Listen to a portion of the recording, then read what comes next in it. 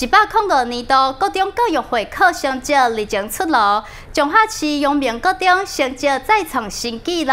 有四位同学得到满积分，其中更有一位同学得到全国的榜首。阳明高中家长会是感谢学校老师辛苦的付出，并且颁发奖金给成绩优秀的同学。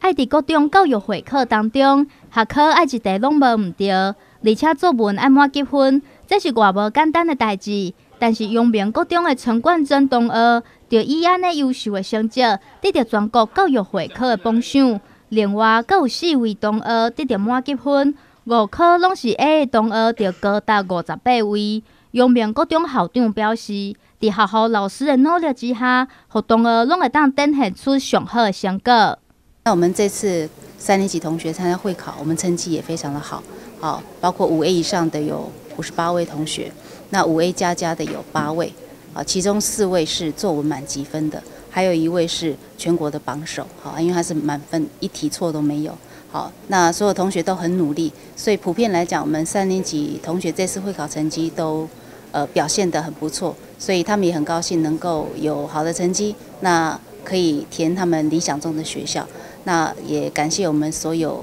呃三年级的任课老师跟导师们，很用心的给同学们复习，陪伴他们读书。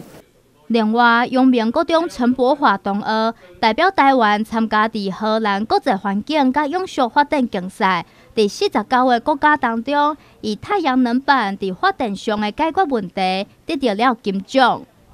参加一个科学演习，然后那个讲师讲说，当太阳能板的温度上升时，它的输出功率就会下降，所以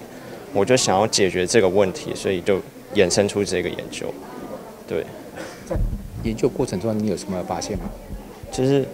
我不断的在改良我的水能板的一的一个效能，然后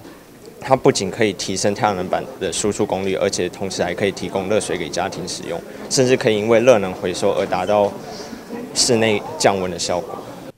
会当伫国际比赛当中得奖，这不管是对台湾或者是学校，拢是真大的荣誉。我们今天很高兴哈，我们陈柏华同学代表我们中华民国去参加这种国际级的科学竞赛，好，可以拿到金奖。好，这在四十九个国家之好的竞争之下，能够脱颖而出，而且他现在也只是国中生的而已。好，跟其他的。高中一起去竞争，跟全世界去竞争，能拿到金奖回来，我们阳明国中所有的师生们，大家倍感光荣。好，那重要的是在过程里面，他真的很用心在这从事这样的研究，他也有心去做，所以也给是给所有同学们一个很好的模范。为着要鼓励同学的努力，阳明国中家长会嘛特别来颁发奖金来表扬，嘛感谢学校老师的付出。新中华新闻北明林中华采访报道。